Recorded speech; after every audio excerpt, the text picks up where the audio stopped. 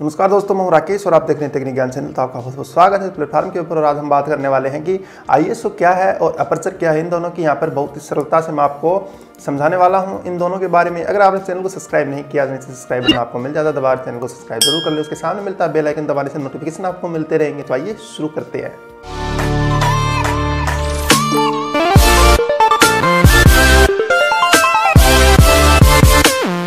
दोस्तों, यहाँ पर हम बात कर रहे हैं कि आईएसओ क्या है और किस प्रकार से जो वो काम करता है और दूसरा यहाँ पर हमने रखा है कि अपर्चर क्या चीज़ है और किस प्रकार से जो वो काम करती है, अपर्चर होता क्या है और आईएसओ क्या होता है। काफ़ी सारे सवाल जो हैं आपके भी दिमाग में घूम रहे होंगे।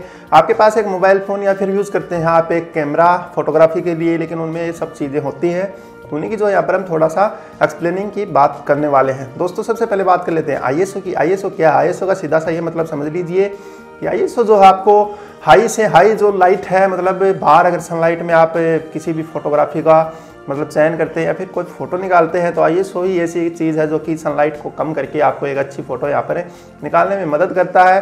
और आईएसओ ही वही चीज़ है जो कि अगर आप कम लाइट में या फिर अपने रूम के अंदर या फिर घर के अंदर चार तरफ़ जो बाउंड्री है उसके अंदर, काफ़ी कम लाइट के अंदर भी अगर आप फोटोग्राफी निकालते हैं तो भी आपको जो है आई एस बढ़ाने के बाद जो है लाइटिंग सारी की सारा जो सेटअप है लाइटिंग का, वो काफ़ी अच्छा मिल सकता है। लेकिन दोस्तों, यहाँ पर प्रॉब्लम ये है कि अगर आप आईएसओ को बढ़ा देते हैं, या फिर आपको एक उदाहरण के लिए मैं बताऊँ कि आजकल जो डीएसएलआर कैमरा या फिर काफ़ी जो डिजिटल कैमरा आए हुए हैं, उनके अंदर आईएसओ जो है ऑटोमेटिक आया हुआ है। पहले जो कैमरा आते थे, उनको अगर आप बाहर सनलाइट में अगर आपको फोटोग्राफी करनी है तो आपको जो है लो आईएसओ वाला कैमरा उठाना पड़ता था। अगर आप शूटिंग कर रहे हैं रूम के अंदर या फिर घर के अंदर तो आपको जो है हाई आईएसओ वाला कैमरा यहाँ पर उठाना पड़ता था। लेकिन आजकल जो है वो समस्या भी खत्म हो गई है। मतलब एक ही कैमरा जो ऑटोमेटिकली सारे काम यहाँ पर कर लेता है। आईएसओ को अगर आप ऑटो पर रखते हैं तो अपने आप जो है एडजस्ट करता रहता है। कितने में मतलब कितना अच्छा जो है यहाँ पर फुटप्रिंट आने वाला, कितनी अच्छी जो है यहाँ पर फ़ोटो निकलने वाली है। और मैनुअली भी आप कर सकते हैं। अगर आप बाहर यूज़ करते हैं कैमरा जिसके अंदर आई वाला सिस्टम और आपको अच्छी इमेज निकालनी है बाहर तो भी आज आई को कम रखें।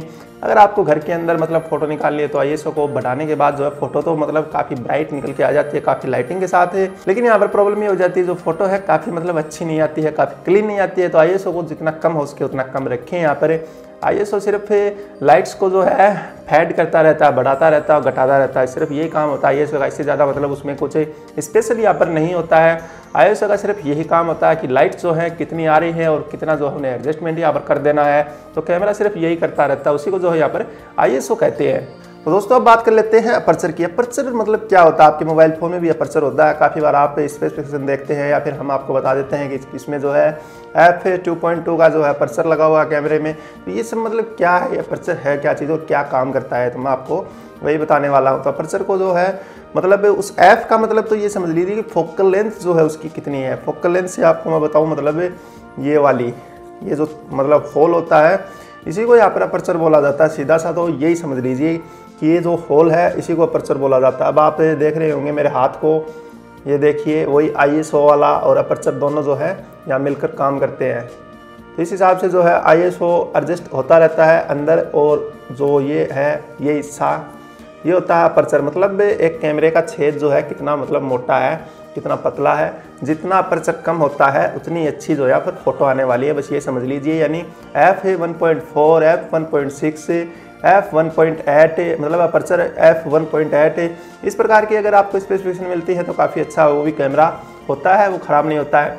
लेकिन अब आजकल जो है काफ़ी सारे मोबाइल्स में आप देखते हैं कि अपर्चर 3.8 वाला जो है, यहाँ पर मतलब कैमरा आया हुआ है, इतने लेंस का। तो उसके पीछे दोस्तों एक लेंस लगा हुआ होता है जिसके अंदर काफ़ी सारे जो अलग अलग लेंस होते हैं और वो उस अपर्चर के द्वारा काफ़ी हाई क्वालिटी की या फिर लो लाइट के अंदर भी मतलब काफ़ी अच्छी फ़ोटो निकालने के लिए ये सिस्टम मतलब नया तैयार किया गया है। क्योंकि जो बड़ा कैमरा है, जैसे डीएसएलआर वगैरह हैं, और भी काफ़ी सारे जो कैमरा है, उनके अंदर तो पहले से ये सिस्टम होता है, क्योंकि उनका जो लेंस है वो काफ़ी बड़ा होता है, काफ़ी मतलब उनकी जो फोकल लेंथ है वो काफ़ी बड़ी होती है, लेकिन एक मोबाइल फ़ोन में इतना बड़ा कैमरा लगाना मुमकिन नहीं था तो दूसरा सिस्टम यहाँ पर लगा दिया। कि उसका जो है थोड़ा सा जो अपर्चर है, उसको बढ़ा दिया जाए और उसके पीछे काफ़ी सारे अलग अलग यहाँ पर लेंस लगा दिए जाए। अब वो लेंस जो है अलग अलग कलर्स में होते हैं और वो जो है, लाइट्स को इस हिसाब से ही सेंसर तक पहुँचाते हैं, जैसा कि आप देखना चाहते हैं। बस यही यहाँ पर अपर्चर का काम होता है और अपर्चर का जो अमाउंट होता है या फिर यूनिट होती है या फिर मतलब इसकी काउंटिंग होती है वो लगभग आप पे हंड्रेड के आसपास से मतलब लगा के चाहिए, सौ परसेंट होती है। अगर सौ परसेंट से यहाँ पर ऊपर हो जाती है तो फ़ोटो ख़राब हो गई। अगर सौ परसेंट से यहाँ पर कम हो जाती है तो फ़ोटो में जो है अंधेरा छा जाता है। मतलब इस हिसाब से उसकी फिक्स यूनिट तो हंड्रेड परसेंट ही यहाँ पर रखनी होती है, चाहे किसी भी कंपनी का ये मोबाइल हो। आपके पास अगर कोई चाइनीज़ कंपनी का कोई हल्का सा मोबाइल है जिसके अंदर लगा हुआ है, एक हल्का सा कैमरा उसमें कोई अपर्चर सिस्टम नहीं होता है, उसमें कोई लेंस भी नहीं होता है, उसमें सिर्फ़ सेंसर लगा हुआ होता है और उसके सामने एक शीशा लगा हुआ होता है। सिर्फ़ वो फ़ोटो को जो है प्रतिबिंब बनाकर आपको दिखाता रहता है। दोस्तों, यहाँ पर अपर्चर का यही मतलब है कि जो कैमरे का लेंस है या फिर उसके बाहर का जो हिस्सा है उसका जो दरवाज़ा है, वो जितना कम खुलेगा, उतनी लाइट जो है अंदर जाएँगी और जितनी मतलब कम लाइट अंदर जाएँगी, उतनी अच्छी जो है यहाँ पर तस्वीर निकल के आने वाली है। तो इसीलिए ये अपर्चर वाला सिस्टम यहाँ पर बनाया। तो ये लगा हुआ होता है सबसे पहले। आपका अगर मोबाइल है तो मैं आपको थोड़ा सा यहाँ पर दिखा दूँ। जैसे कि मेरे पास एक फ़ोन है तो इसमें जो ये कैमरा है, इसमें जो बाहर वाला हिस्सा दिख रहा है, ये तो एक ग्लास है प्रोटेक्शन के लिए, और उसके नीचे जो आपको ये कैमरा दिख रहा होगा तो इसका जो ये होल है, ये यहाँ पर अपर्चर होता है और उसके पीछे एक स्पेशल लेंस लगा हुआ होता है जो कि अपर्चर को सेट करता रहता है थोड़ा बहुत।